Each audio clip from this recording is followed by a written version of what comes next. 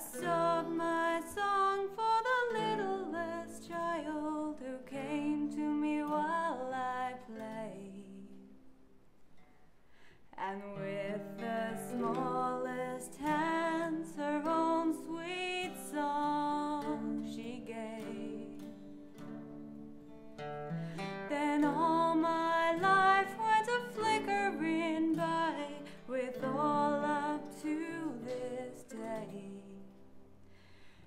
I were child.